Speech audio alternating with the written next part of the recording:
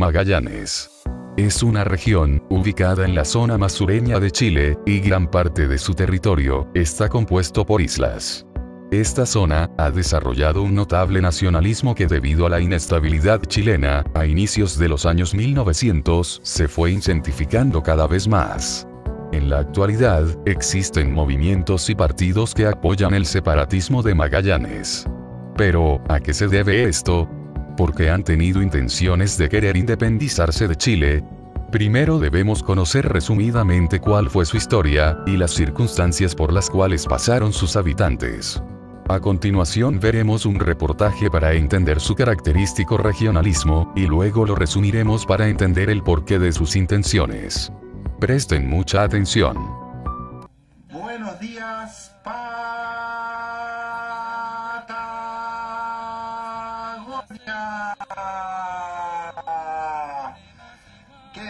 ¿Cómo les va? Muy, pero muy buen día. Ya estamos saludando a toda la querida República Independiente de Magallanes. Comienza en la Desde el estudio de radio, este locutor revitaliza a diario el concepto de República Independiente de Magallanes, una frase arraigada en la gente y basada en la lejanía de nuestra región. La frase República Independiente quiere representar lo que para muchos de los magallánicos significa nuestra calidad y nuestra condición de vida, el hecho de estar viviendo acá en el sur.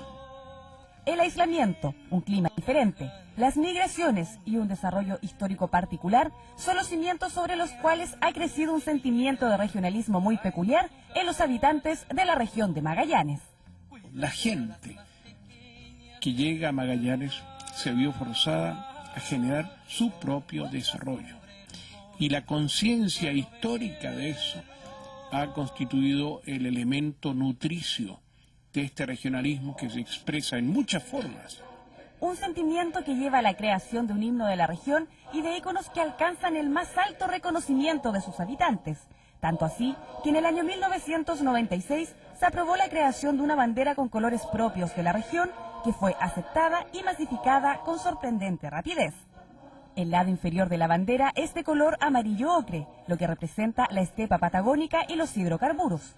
El horizonte simboliza la cordillera andina, combinada con el azul del cielo que anida la constelación de la Cruz del Sur.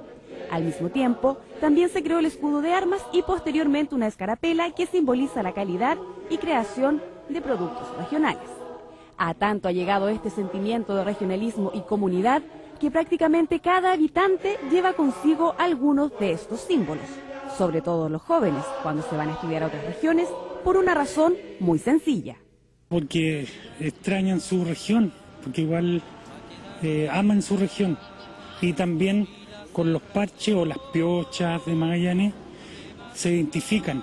Entonces si se encuentran en algún lugar con la bandera, felices los jóvenes han hecho suyo eh, de manera, eh, digamos, masiva eh, los símbolos que representan hoy día la identidad de Magallanes, como es la bandera y como todo lo que tiene que ver con el folclore y la, y la naturaleza de, de Magallanes. A pesar de la distancia, de las pocas horas de luz en invierno y de las inclemencias del tiempo, la mayoría de los magallánicos se siente dichosos de vivir aquí. Porque esta tierra es muy buena, pues. Es muy fructífera y buena gente aquí para la gente que es nacida en esta tierra, que es tan sufrida por el clima, por todas las, las dificultades que tenemos eh, para vivir, sí. Es tranquila, es segura. Son muchas cosas que van en contra, pero pues, si tú lo llevas en la sangre y lo quieres a tu ciudad, la quieres de frente. Creo que no hay región de Chile en donde los símbolos expresivos de nuestra magallanidad, como son la bandera y el escudo, estén tan visibles que incluso llaman la atención de los visitantes un sentimiento de identidad capaz de cautivar y que es llevado en el corazón de cada persona que ha crecido en esta tierra lejana y que día a día se hace más potente. Día a día se hace más potente. Me pregunto hasta qué grado los podría llevar esto. Ya visto este reportaje podemos deducir que este regionalismo que caracteriza a estas personas se debe a que su gente se vio forzada a crear su propio desarrollo, puesto que Chile en aquellos años poseía un centralismo y una crisis tanto política como económica que le impedía aportar a todas sus regiones. Hasta este punto es entendible el porqué de tanto orgullo. Aunque en la actualidad Chile sigue pasando por el centralismo, o sea, teniendo más prioridad por las principales ciudades. Y como pudimos ver, no solo se les autorizó crear una bandera y un escudo, sino que también poseen su propio himno regional, significando esto una identidad propia. Tanto ha sido, que han pretendido en múltiples ocasiones poseer su propia autonomía, solo porque han tenido conflictos, y poco apoyo del gobierno chileno, y ven el separatismo como un nuevo comienzo. O sea, pretender movimientos separatistas para independizarse de Chile. Hace poco me encontraba escuchando el himno de Magallanes, y me encontré con este comentario. Este es mi país, Magallanes, el país más lindo, soy de la capital Punta Arenas. Y ahora, miren este reportaje hecho por el programa, Bienvenidos, donde acuden a una picada, en la ciudad de Punta Arenas, a lo cual una anciana les ofrece algo típico de la zona para comer, y tras ver sus reacciones, esta dice en voz baja, al país que fueres, hay que comer lo que vienes.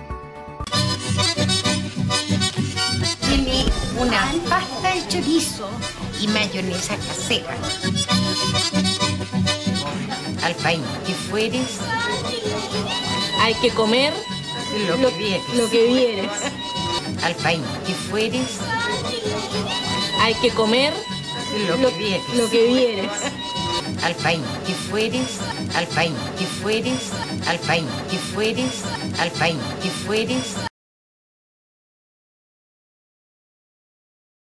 Este caso, Magallanes no es un país, sino una región, aunque depende de igual manera con qué intenciones lo habrá mencionado.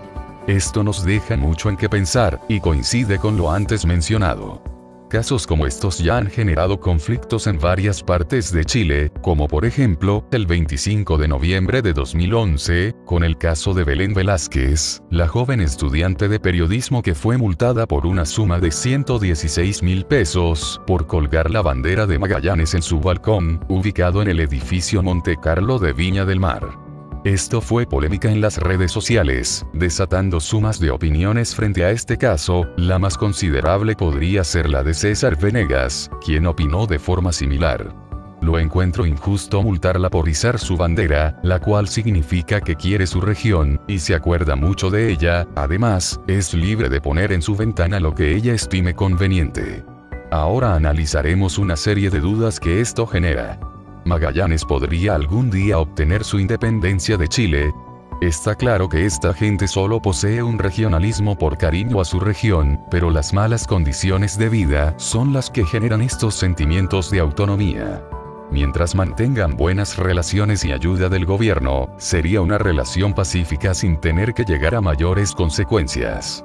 Por otra parte esto nunca podría suceder, ya que de ser así, este territorio se vería amenazado posiblemente por una invasión de parte de Argentina, como se ha visto estos últimos años de sus pretensiones de querer adueñarse de territorio al sur de Chile, como lo fue parte de nuestra Patagonia, o los campos de hielo de Aysén.